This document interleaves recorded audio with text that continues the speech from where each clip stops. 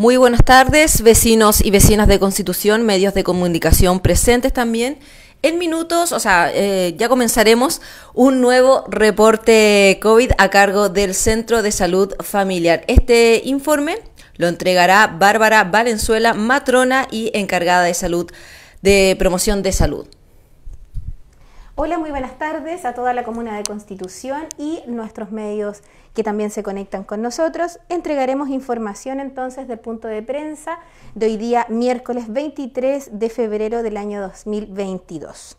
Comenzando inmediatamente con cifras nacionales, MinSal el día de hoy informa 24.700 nuevos casos con una positividad del 24.22% y en la última semana una positividad del 26.24%. Se informa, por ende, en totalidad de casos activos a nivel nacional, 105.912 casos. En la región del Maule tenemos para el día de hoy 2.075 casos nuevos, totalizando 176.531 casos totales desde que inició la pandemia. A nivel comunal tenemos que durante estos últimos días, el domingo 20 de febrero, hubo 142 casos nuevos con 899 exámenes tomados. El día lunes 21 hubo 159 casos nuevos con 676 exámenes tomados.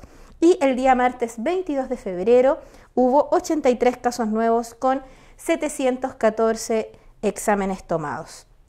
Tenemos, por lo tanto, que el día de hoy, 23 de febrero, con un corte ayer, 22 de febrero, a las 21 horas, que Minsal informa 41 casos nuevos, 7.066 casos totales con un ajuste Minsal más 2, 6.877 casos recuperados, 141 casos activos al día de hoy, mantenemos 347 exámenes pendientes y 48 personas fallecidas que se mantienen de los últimos reportes. Con respecto a lo que es proceso de vacunación, tenemos que hasta el día de hoy, con vacuna COVID-19, primera dosis llevamos 59.883 personas vacunadas. Con segunda dosis tenemos 55.677 personas vacunadas. Con su tercera dosis ya llevamos 32.071 personas vacunadas y con su cuarta dosis de refuerzo ya existen 1.743 personas vacunadas. Esto es bastante positivo. Dentro de las últimas semanas se han vacunado bastantes usuarios acá en la comuna, sobre todo con primera dosis. Hemos tenido bastantes usuarios que no se habían querido vacunar y que ya están cumpliendo su proceso de vacunación incluso con primera dosis. De hecho, en esta última semana hubo alrededor de 300 nuevas dosis, em, primeras dosis incluso inoculadas. Con respecto a lo que son los calendarios de vacunación, mantenemos entonces vacunación, por supuesto, de primera dosis para todo usuario que tenga de 3 años en adelante también estamos vacunando con segunda dosis y que la idea acá es que hayan tenido 28 días después de una primera inoculación y por supuesto que a nuestras mujeres embarazadas, que la diferenciación de hoy es que es para cualquier edad gestacional, tanto para la primera, segunda, tercera o cuarta dosis también en unos meses más, para las mujeres embarazadas va a ser en cualquier etapa de la gestación. Por otro lado, tenemos que para la dosis de refuerzo, ¿cierto? Nuestra tercera dosis, mantenemos vacunación para todas aquellas personas que hayan tenido su tercera dosis, perdón, su segunda dosis hasta el día 24 de octubre. Y durante toda la semana hay vacunación a usuarios entre 6 y 11 años inmunocomprometidos. No olvidar que estos usuarios inmunocomprometidos son aquellos que están con algún cáncer en tratamiento, ya sea quimioterapia, radioterapia, algún tratamiento hormonal, ¿cierto? O por otro lado, pacientes que se encuentren en diálisis, ya sea hemodiálisis, peritoneodiálisis, usuarios trasplantados, ¿cierto? De órganos sólidos o de precursores hematopoyéticos y además pacientes con enfermedades autoinmunes son considerados todos entonces este cúmulo de personas inmunodeprimidas. Y además, durante toda la semana también se está vacunando a todos los usuarios de 12 años en adelante con su tercera dosis. Lo importante es haber tenido segunda dosis hasta el día 24 de octubre. Y con respecto a lo que es la cuarta dosis, mantenemos también durante toda la semana vacunación a todos los usuarios de 55 años en adelante que hayan recibido tercera dosis hasta el 29 de agosto. Súper importante entonces, aquí la clave es que la tercera dosis haya sido el 29 de agosto o antes. Y además de eso, tenemos también vacunación de cuarta dosis durante esta semana para pacientes inmunocomprometidos y además mantenemos vacunación para funcionarios de la salud tanto del área pública como privada, incluyendo por supuesto los alumnos eh, que tengan prácticas que obviamente estén en, en directo contacto con usuarios.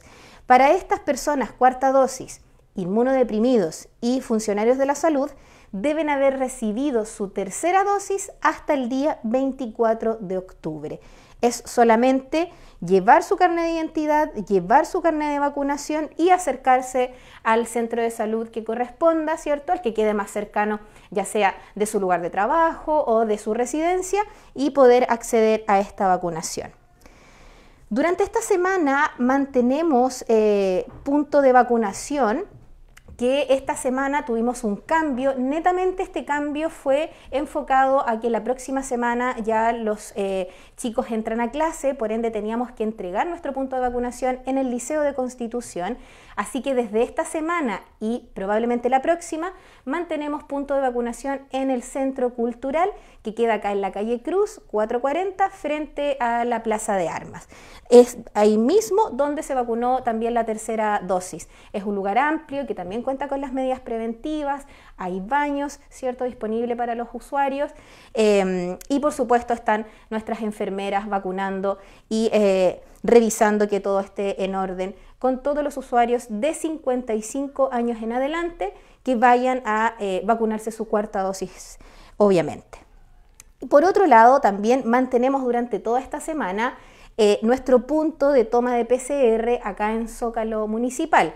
El día de hoy, eh, por temas de lluvia que, justamente ocurrió en ese horario, las chicas tuvieron que trasladarse al centro de salud, no pudieron seguir tomando PCR, así que excepcionalmente hoy día en la mañana se tuvieron que trasladar y no estuvieron toda la jornada pero el resto de la semana no debería haber inconvenientes.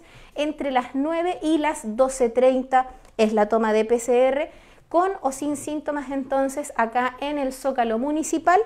Eh, Súper importante siempre mantener y andar trayendo su carnet de identidad, que es la identificación necesaria para poder eh, realizar eh, este tipo de exámenes. Entonces, no olvidar, tenemos punto de vacunación esta semana y la próxima, pero esta vez en el centro cultural. No olvidar, nosotros igual hemos estado informando por nuestras redes sociales, también por las redes sociales de la municipalidad, además de que en el Liceo de Constitución dejamos algunos letreros eh, para informar y que obviamente los usuarios se trasladen al nuevo punto. No olvidar además que para todo usuario que no pueda acercarse al centro de salud para vacunación, por el motivo que sea, siempre está disponible eh, nuestro llamado telefónico a OIRS, que va a aparecer acá el número de teléfono.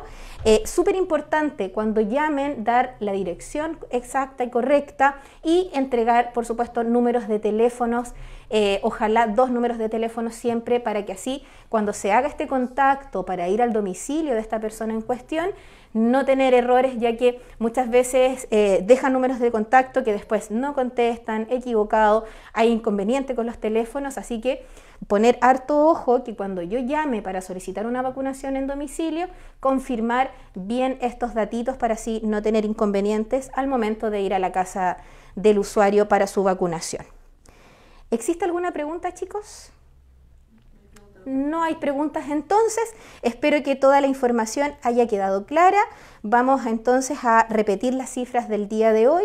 Tenemos entonces con un corte ayer a las 21 horas 41 casos nuevos, 7.066 casos totales con un ajuste mensal más 2, 6.877 casos recuperados, 141 casos activos al día de hoy y 347 exámenes que se mantienen aún con resultados pendientes. No olvidar siempre nuestras medidas preventivas. Recuerden que las medidas preventivas, lavado de mano, mascarilla, distanciamiento físico, la ventilación, ¿cierto?, de estos lugares, sobre todo donde haya eh, cúmulo de personas, siempre va a ser una medida principal, una medida que es muy, muy importante. Y por otro lado, además, el proceso de vacunación. No se olviden que al día de hoy, eh, si bien estas nuevas cepas que se han instaurado en Chile eh, han sido muy contagiosas y han aumentado mucho los casos, no es tanta la cantidad de usuarios que eh, se encuentran con gravedad o hospitalizados o que hayan fallecido, ¿cierto? Pero no quiere decir que no haya ninguno. Existen personas que hoy en día están graves. Actualmente contamos con un par de personas de constitución que se encuentran... Eh, con estado un poco más complejo, ¿cierto? Hospitalizados eh, en Talca y que la coincidencia es que no están vacunados. Así que por eso, principalmente, estos dos ejes importantísimos, vacunación y medidas preventivas, van a ser los que nos van a ayudar, por supuesto, a superar algún día y ojalá no tan tarde eh, esta pandemia. Bueno, por su atención, como siempre, todas las semanas, eh, agradecemos a toda la comuna, a todas las personas que se conectan con nosotros, también a los medios de comunicación que replican esta información y a todos ellos muy buenas tardes.